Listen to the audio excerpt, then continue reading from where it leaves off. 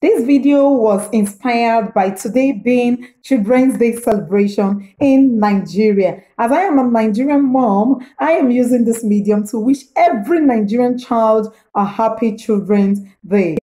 Welcome, guys. Welcome to another beautiful vlog with Amaka Benedicta. This is Letters to the Singles and Married Forum. Today, we are in the family talk section. Do you wonder why your child behaves the way he or she behaves? Do you wonder why your child doesn't excel? Do you feel that your child's passion is ruined? Do you feel she, he or she does not have a good self-esteem? This is the best video to watch. Today, I'm going to tell you how to really care for your child. Stick with me.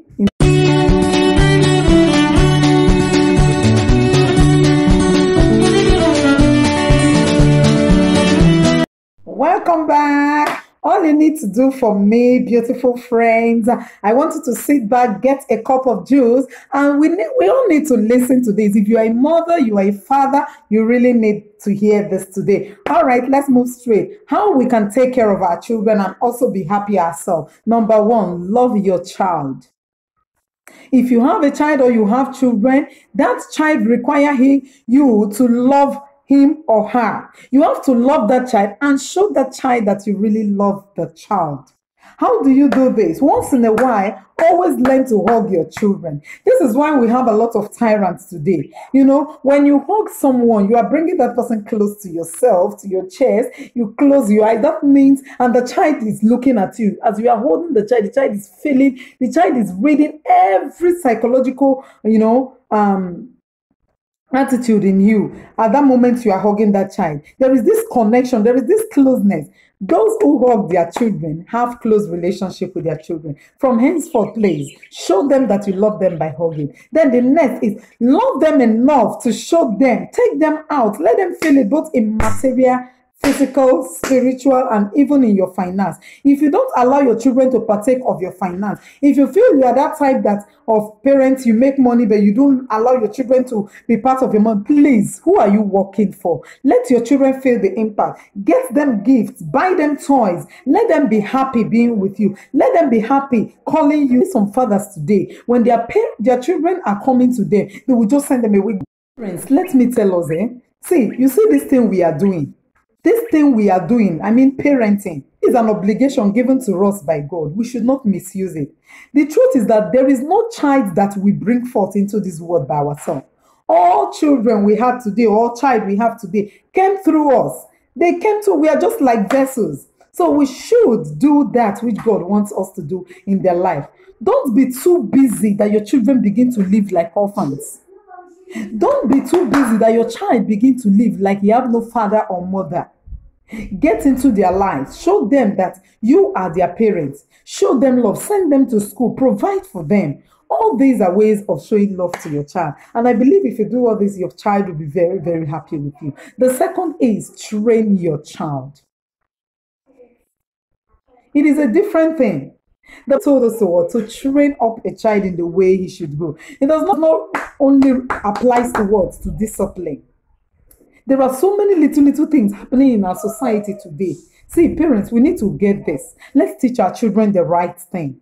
You understand? Because if we don't do this, at the end, it will bounce back to us.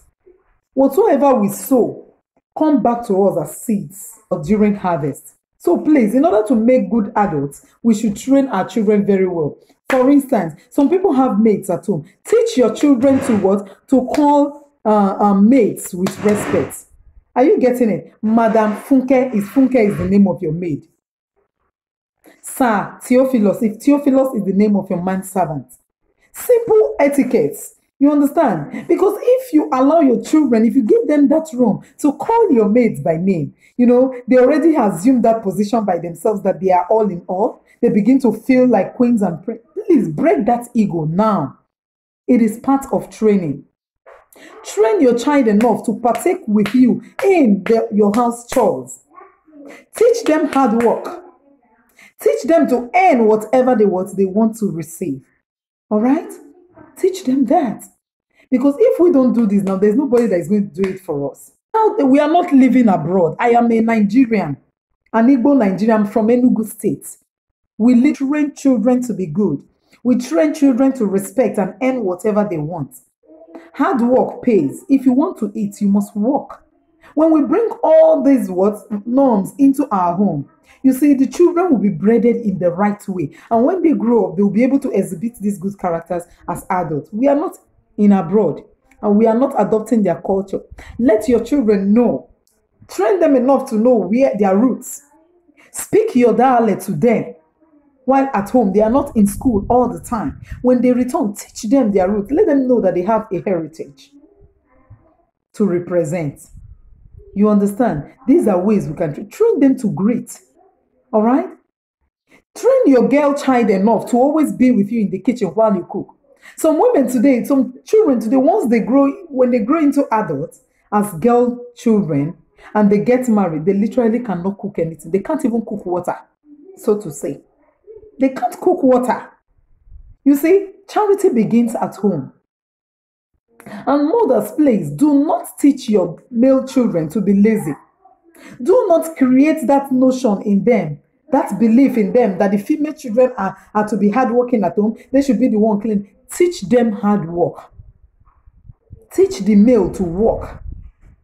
Why we have lazy men today who can literally not do anything is because its character can also be traceable to the home. Who told you that a male child cannot help you cook? Who told you that a male child cannot be sent to the market? Who told you that a male child cannot participate in house chores? These are the little things we need to let's build our foundation very well. Is know your child. Know your child. Some parents today are living in what? In chaos and in shadows. Why? Because they tend to compare their children, you know, with other people's children. Know your own child. Know the passion of your child. Know what your child can do and what your child cannot do. Bring that child close to yourself.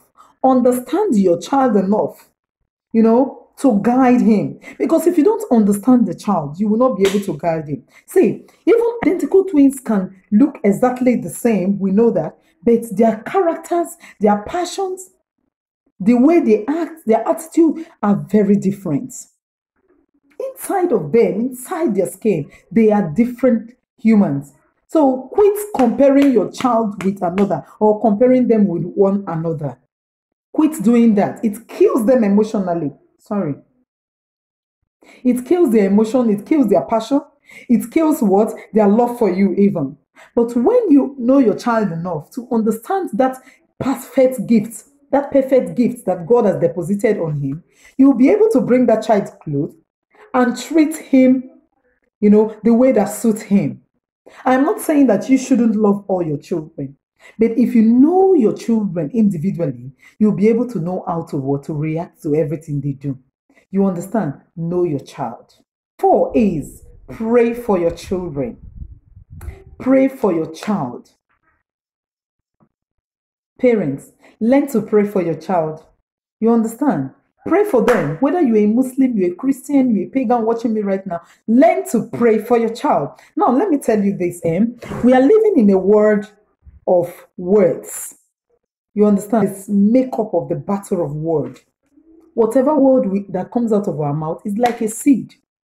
Are you getting? And we all know that every seed, it, once it falls to the ground, it begins to what? To grow. It will sprout depending on what you know was added on it. Once you add manure to it, it grows very well. Rain falls on it, it will grow very well. That is how the words of our mouth are. So we wanted to be the first to what? To, to lay the foundation of where we are planting them. We should be the first to what? To plant whatever thing we're going to plant in them. How do we do this? Pronounce positive words on your children. Pray for them. Call them by name. Bless them. Do not use render your child useless through verbal abuse. All kinds of what verbal words on their child to ruin their self-esteem. You speak so negative of the child that the child goes out, he won't be able to what? To stand his friends. Parents, please, I don't really know how to pass this. I might not be, I might not be passing this out in the perfect way, but please get the point out of what I am trying to explain to you. I am a teacher by calling. You understand? I've seen children in classes when you call them I have called the children, they will just be out of mobile fear from nowhere, but traceable to their homes. Parents, try to what? To pray for your children and pronounce positive. In the morning, when you see your child, be happy enough to, to what? To see your child. Call that child, oh, my loving child. You bless the child. You can call him the ambassador of my word. Rain praises on your children. But I'm not saying that you should raise their ego enough that they will no longer respect you. Love them. Are you getting it now? Bring positive words on them, pray for them, bless them, touch their head, speak positively. When they are going to write exams, say good things to them. And as them, say good things about them. Then they will respect you and they will know that what that you are with them. Now, another reason you should always pray for your child. See, it is not uh, you say this issue of prayer is not something that someone should be telling you to do. It is a must do. You must pray for your child because of the kind of environment we find ourselves today, especially in Nigeria. Sometimes you what you open your what your television, what you say is missing child. Missing child. Children are missing.